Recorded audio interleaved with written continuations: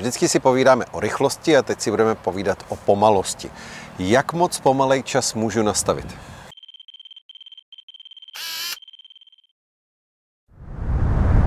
No záleží na tom, co fotíš, čím fotíš, jaký objektiv používáš a co od té fotky vlastně chceš. Když Jo. chceš ostrou fotku, no tak musíš použít kratší čas, protože když bys použil moc dlouhý čas, no tak se ta fotka rozmaže. Buď vlivem tvýho pohybu, nebo vlivem pohybu toho objektu. Hmm. Což si ukážeme na fotkách mýho psa. Já jsem se vždycky učil, když jsem začínal ještě na filmu, že na 50 stačí 50 na sekundy, na dvoustovku stačí 200 na sekundy. No, to ses učil moc hezky. Už je tomu nějaký pátek. No, hele, ono dá se říct, že to zhruba tak jako odpovídá, ale je to s rezervou, jo, protože čím víc roste rozlišení těch moderních snímačů, tak tím je potřeba ten čas více zkracovat. Uh-huh. Jo? Takže dá se říct, že dneska by to nebyla na 50 50 na vteřiny, ale třeba setina, uh-huh. nebo dvousetina vteřiny. Jo? Když uh-huh. budeš fotit 100 megapixelovým foťákem, jakože jsou takový, tak musíš použít o to kratší čas, aby i ta úplně mikroostrost byla fakt jako dobrá. Pak, to, pak z toho dostaneš ten výsledek, který chceš. Ale je tady rozdíl eh, v tom, jestli používáš stabilizátor nebo nepoužíváš stabilizátor. Protože ten stabilizátor obrazu, ten ti u těch statických fotek dokáže dost pomoct. Uh-huh. Takže ten čas se dá zase trošku prodloužit. Na těch ukázkových fotkách, co si můžete prohlídnout, tak je můj pes třeba sedící. Fotil jsem ho zhruba dvoustovkou ohniskem někde 190, jak mi to vyšlo. A fotil jsem různýma časama, třeba od 30 vteřiny a je krásně vidět, že na 30 vteřiny bez stabilizátorů a ohniskou kolem dvoustovky je ta fotka úplně rozmazaná, ale když jsem zapnul stabilizátor, tak je perfektně ostrá. Uh-huh.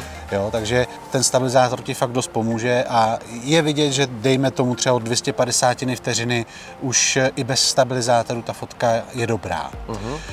Něco jiného je, když se ten pes pohybuje, v mém případě e, běhal přímo proti mně, takže e, tam třeba i na tu 250 vteřinu nebo na 500 vteřiny to není tak ostrý, ale na tisícinu nebo dvou tisícinu vteřiny už je to úplně super. Uh-huh. A v téhle situaci už moc nehraje roli, jestli máš nebo nemáš zapnutý stabilizátor.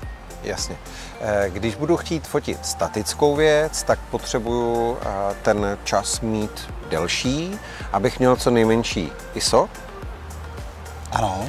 Ale pak jsou věci hejbací se a na ty hejbací se věci, to jsme se dívali v minulých videích, že jo, penning třeba, nebo focení sportu, dávkový režim a tak podobně, tak tam zase potřebuji nastavit uměrně čas tomu, abych buď to zastavil ten objekt, anebo rozmazal podle toho, co chci docílit. Podle toho, co chceš, přesně tak. Hmm. Jsou situace, kdy se hodí ta fotka rozmazaná právě kvůli zdůraznění toho pohybu a dokonce ani ten hlavní objekt nemusí být ostrý. Jo? Nic se neděje, když ta fotka bude máznutá, hmm. ale e, jsou situace, kdy potřebuješ ten e, pohyb opravdu perfektně zmrazit a já mám zkušenost, že e, pokud třeba ten pes běhá rychle nebo auta jezdí rychle a tak, tak když tu fotku chci mít fakt perfektně ostrou, tak používám třeba i dvou tisícinu nebo čtyř tisícinu vteřiny. Hmm, hmm. No a e, samozřejmě, když budu chtít fotit e, věci rozmazané, to už jsme si říkali. No a co můžu teda dělat, když potřebuji opravdu použít třeba 250 sekundy v tuhle chvíli, kdy už padá světlo, my jsme teda nasvícený krásnýma světlama, ale kdybychom nebyli, tak 250 na sekundy by vyžadovala tu nejmenší clonu a stejně by to bylo tmavý. Tak co v tu chvíli dělat? Pak je jediná možnost zvýšit citlivost. A to jsme se dívali ve videu o citlivosti. Ano, přesně tak. Takže tím je to poměrně jasně daný. Některé fotoaparáty mývají chytrou funkci, která umí omezit tu rychlost závěrky na nejdelší možný čas podle ohniska. Některé jiné fotoaparáty tuhle funkci nemají a umí omezit tu rychlost závěrky obecně, bez ohledu na objektiv.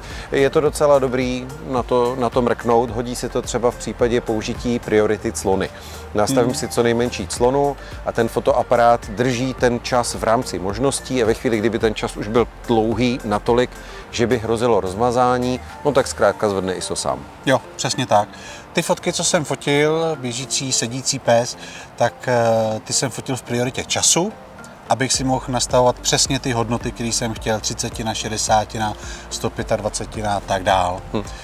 Jo, takže Stabilizace může pomoct, pomůže ve chvíli, kdy se nehýbete ani vy, ani ten objekt, takže může se stát, třeba když jsme byli v tiských stěnách v našem videu, tak Luděk se smál, že 15 sekundy nebo 8 sekundy dokonce, že neudržím. Eh, udržel jsem s Canonem EOS R5, který má stabilizovaný čip a stabilizovaný objektiv, tu 1535, tak 8 sekundy je normálně krásně ostrá, ale samozřejmě eh, pokud by třeba foukal vítr, tak jako teď, hmm. a hejbaly se větvičky, no tak pak už by to bylo bylo rozejbaný. Když použiju zase toho psa, eh, koukněte se na detail eh, na 30 vteřiny se zhruba dvoustovkou ohniskem, bez stabilizátorů by to bylo nemyslitelné. Jo, zatímco ten stabilizátor mi úžasně pomohl a ten pes je perfektně ostrý, i přesto, že jsem fotil takhle dlouhým ohniskem a takhle dlouhým časem. Čili nastavte čas co nejkratší, ať máte co nejostřejší fotku. Nebojte se tisíciny, dvou tisíciny sekundy, proč ne?